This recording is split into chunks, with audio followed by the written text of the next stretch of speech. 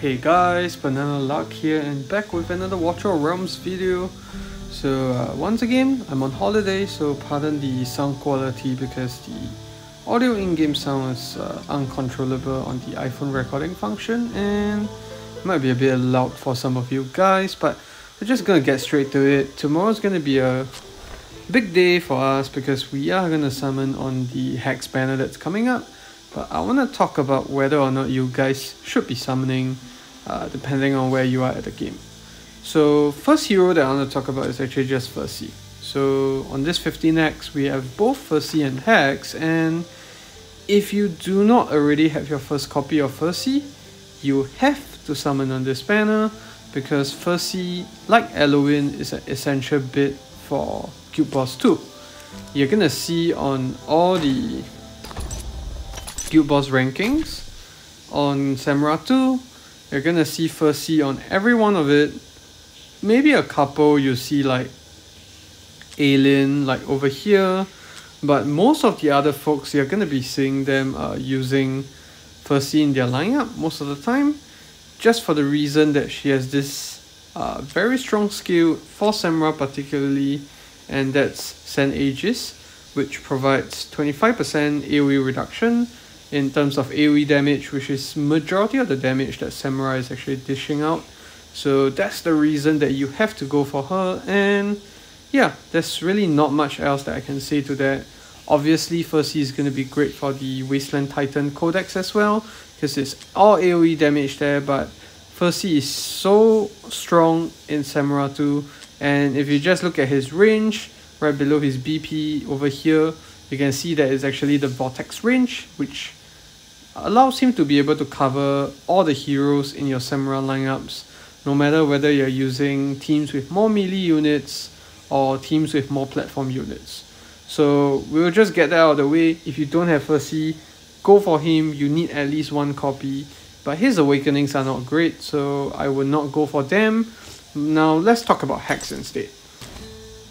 So Hex is an amazing unit. We can just bounce right here over to Semrah, uh, sorry, Guild Boss 1. You're gonna see that I run an A2 Hex. I have a, I have only Lunaria as lot and I'm doing almost like 100, almost 200 million and this is from an auto. If I actually min-maxed it and did a proper run, probably hit like 210, 220 million and this is just with a Lunaria lot and Hex is only A2.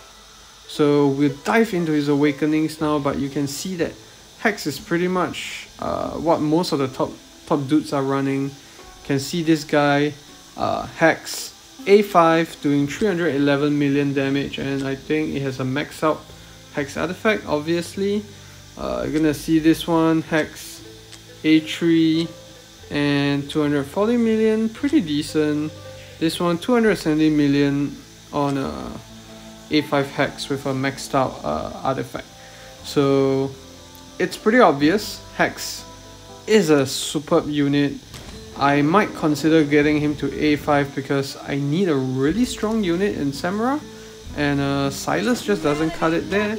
I have my Hex artifact at level 5 now which is like one more level away from being maxed out. So it could come from my Mythic Artifact Excellence, which is almost complete, the, the shards that have been forming from Semrah 2. Uh, so yeah, it's bang of a unit, even in story mode or campaign or you know, uh, content like Void Rift, he's very very strong there because his cost is super low. And as part of his skill kit there's this uh, Fate the Hermit which gives him invisibility and resists incoming damage every like you know 40 seconds which is really clutch in some moments that you know you're running him in Void Rift. So if we take a look at uh, A1 here during the effect of Mad Truth there's a chance to draw the Fool so with his normal ultimate uh, all his cards become the Joker which does 400% damage 3 times and inflicts burning for 5 seconds. The Fool does almost the same thing is 300% more damage, but there's an extra benefit which is 75% slow.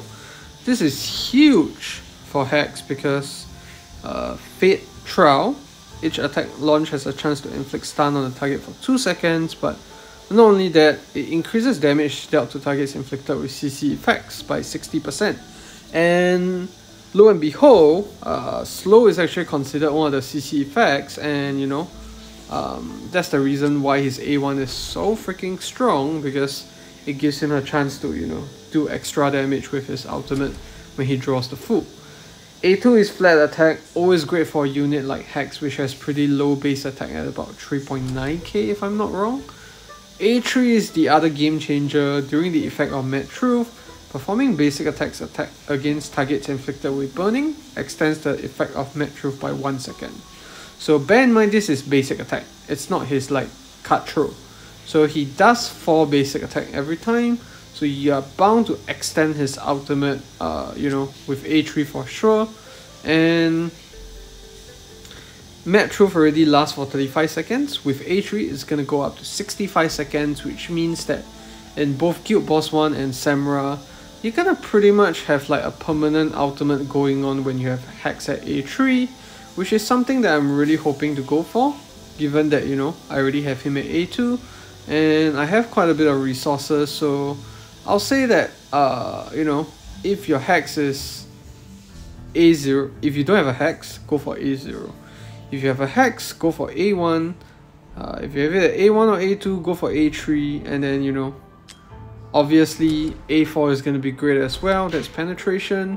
And A5 really changes things because Card of Fate which is his talent as you can see right here.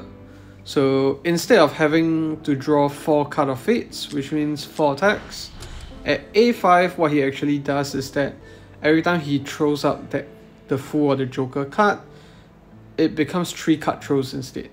So instead of having 4 card throw every every 4 card throws where you actually do one of the big damage items, you're gonna do it in every 3 card throws and he also just straight up increases the damage that he deals with his ultimate by 30%. So every single Hex Awakening is great. It's one of the rare heroes where, you know, uh, no matter what awakening you have him on, you want to get extra copies of him. Especially so if, you know, you're really looking to uh, do really well in Guild Boss, whether is it 1 or 2. I've seen people do Hex A5 alone without any lords uh, A5 but with the Hex exclusive of course. So every single one of his awakenings are good and if you don't have Ferssi this is an even better banner to go on.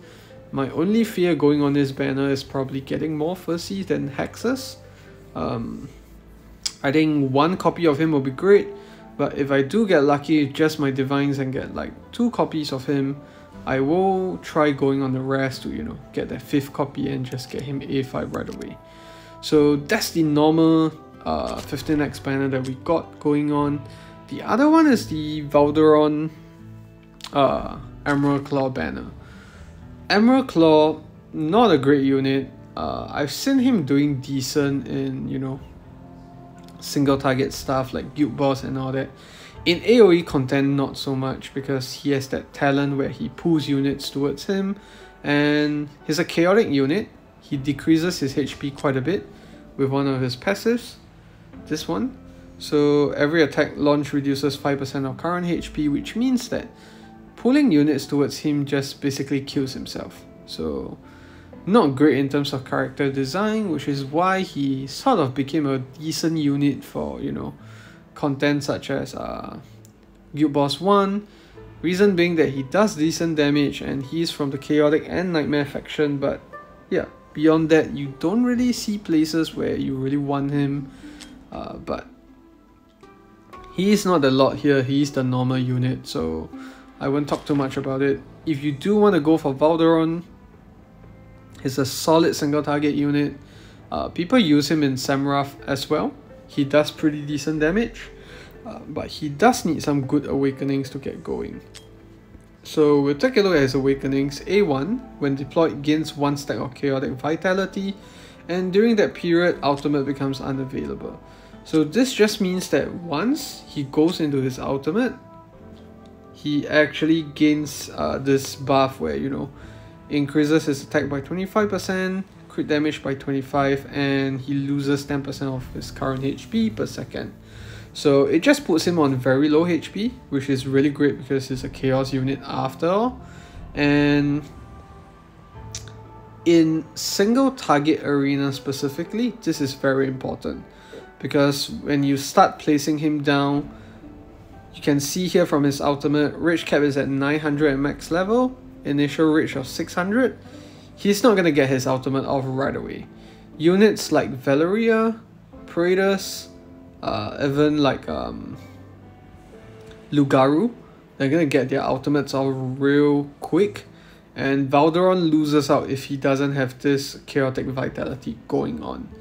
And uh, if you take a look at Arena as well, if you see units like, you know, Ardea, they don't really do that well in the first few rounds, reason being that they don't get ultimates off quickly. So Valderon needs at the very bare minimum A1 to actually get going. So if you only have one copy of him and you are Mega Whale, it might be worthwhile to go for him, but I'll say that with the rerun banners that they're doing, there's a good chance that they're gonna rerun Praetus or Ingrid uh, somehow, maybe, I'm not sure. So maybe it's worthwhile saving for that because Valderon is also quite niche. You use him in single target arena, uh, AoE arena not that much because his range is too short. Uh, Semrah as well, but Praetus is really who we're gonna be aiming for. And A2 that just gives him extra flat attack and also overall team faction damage. So pretty standard awakening. But A3 of his uh, that's where the money is at so it's the same thing chaotic vitality but this time around his attack ignores 50% of the target's defense so it's like Silas ultimate by half instead and given that he's a chaotic unit and the amount of damage he gets, this Valderon hits pretty hard. So if you want to do well with him in single target arena, you would need him to be at A3 minimally. So myself, I run a team which consists of uh, right here. So Gun, Ardea, Lugaru, Valeria. All three of them do really good damage, but they don't do better than A3 Valderon that is geared well. Reason being that I have Valeria, she slows me down, so Valderon is really what we need here. But uh, A3, pretty far away, so we're not near PD as well. But I'll say that the Valderon banner is really depending on where you are. If you're a collector, you don't have him yet, probably worthwhile to summon on it, but uh, I wouldn't go too hard on it because the new Nightmare Lord is probably coming in a few months. So that's probably what I want to save at because judging from all the ancient exclusive lots that have been releasing, they've all been pretty strong. Just take a look at Eova, Ingrid. Uh, these two units were new, uh, or rather the newest units that we had from the ancient banners, and they're pretty nuts. So that's my take. Uh, the normal rare, rare summon banners, it's probably a goal for most people.